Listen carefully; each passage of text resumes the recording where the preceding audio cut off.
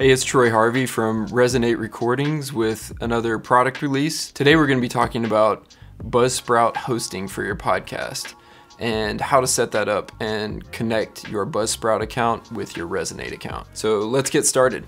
The first step is you're going to want to log in to Buzzsprout and if you don't have an account, it's buzzsprout.com and it's free to create an account. So we're just going to log in here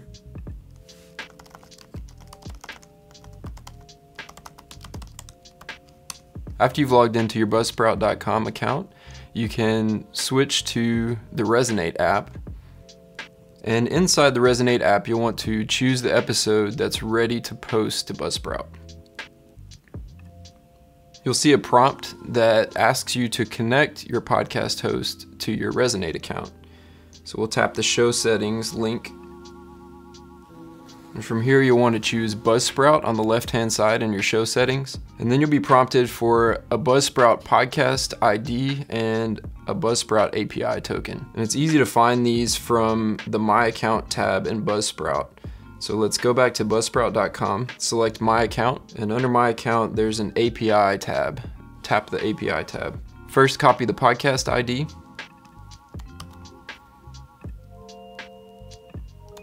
and then copy the Buzzsprout API token.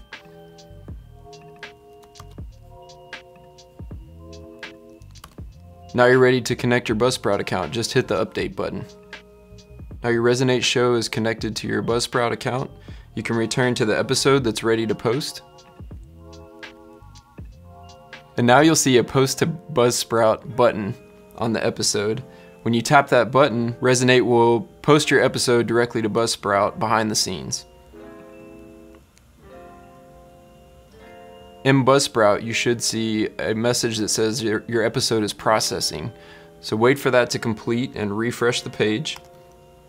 And then you'll see your episode in Buzzsprout. You can tap on the link and you should see the audio for your episode and from here you can add your description and other details about the podcast episode in inside of Buzzsprout. And that's how you connect your Buzzsprout account to your Resonate account.